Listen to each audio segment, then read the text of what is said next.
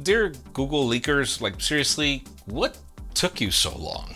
Because yes, the floodgates have opened as we get some new leaks of the upcoming Pixel 5a, which is kind of familiar, sort of. Some new and credible leaks of the future MacBook Pro hint to Apple finally waking up and smelling the coffee. And speaking of Apple leaks, some new schematics show us what the AirPods 3 could probably look like.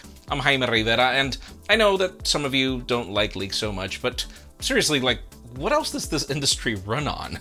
This is Pocketnow Daily.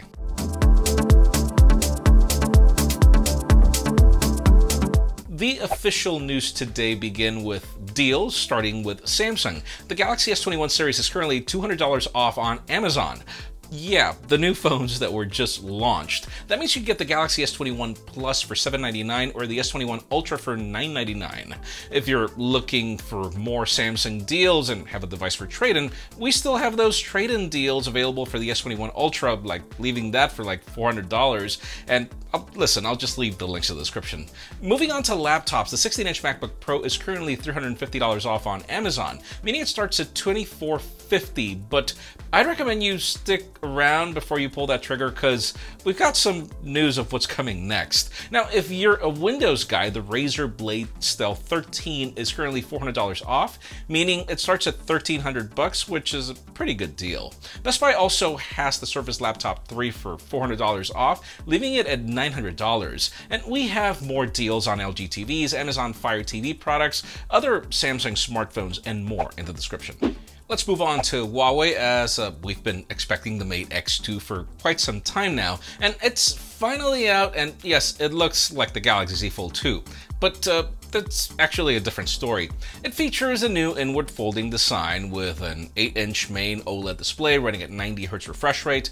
On the cover, you're getting a 6.45-inch display running at 90Hz as well. This phone is powered by the Kirin 9000 SoC along with 8 gigs of RAM and up to 512 gigs of internal storage. Now when it comes to the camera, you get a 50 megapixel main sensor, a 16 megapixel ultra wide, a 12 megapixel telephoto, and 3x optical zoom is being provided, uh, along with an 8 megapixel super zoom camera that supports 10x optical zoom. Of course, you get your typical set of features like pro modes, tracking shots, high res, and other modes.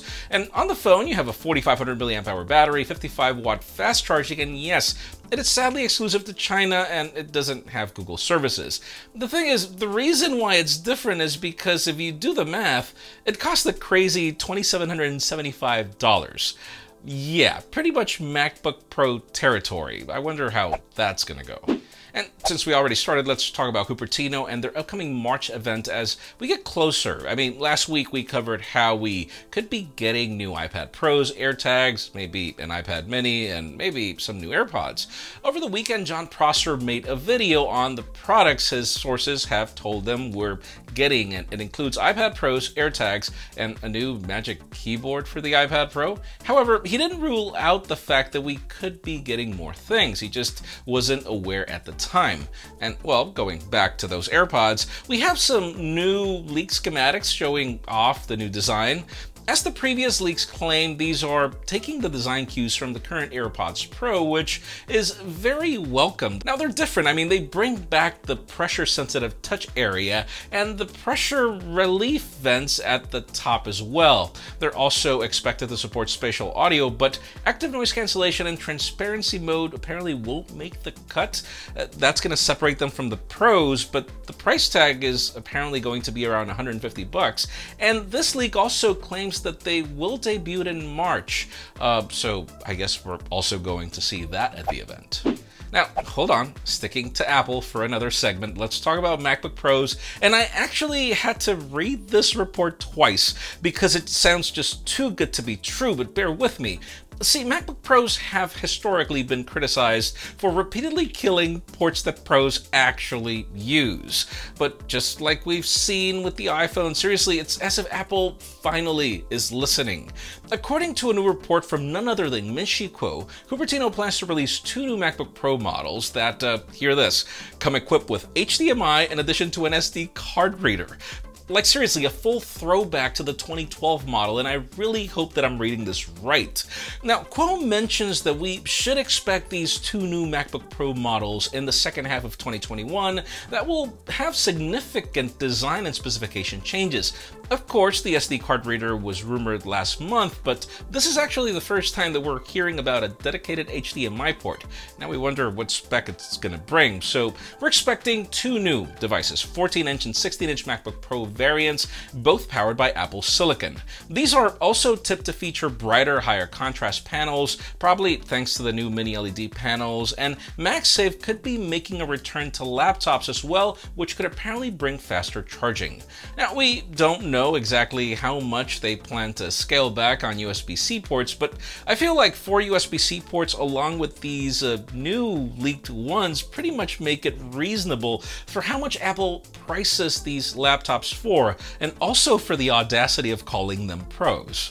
Now, yes, it's finally time. I, we have this running joke with Diego about the fact that it's been way too long since we've gotten Pixel leaks. And, well, they're finally here, though I'm not exactly sure how excited we should be.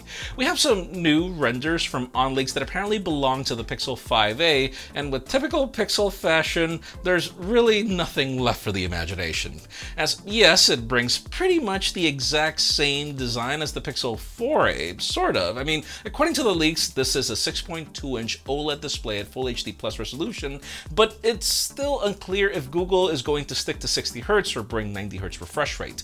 And at the back, the little stove is making a return, but this time we're getting a dual camera module, like finally. In typical Google fashion, we should expect the same hardware that we get with the Pixel 5 with the 12 megapixel main sensor and a 16 megapixel ultra wide though.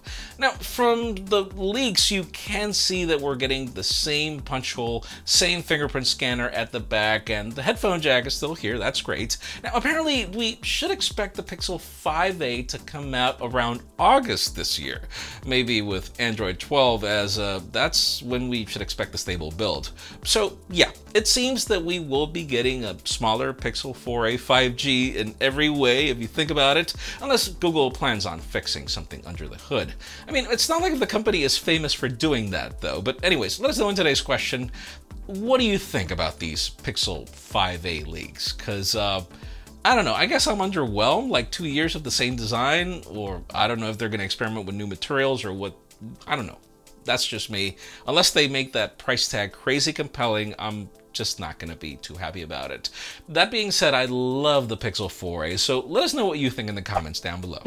Friends, again, if you want to get the news earlier, follow us on PocketNow.com and subscribe to our channel for more videos like this one. You can also follow us on social medias. Our extended coverage happens on Instagram. And follow me on my personal handles to see me uh, want more leaks, because I, I like them. Please give this video a thumbs up if you like what you saw. I'm Jaime Rivera. Thanks so much for watching. We'll see you on the next one.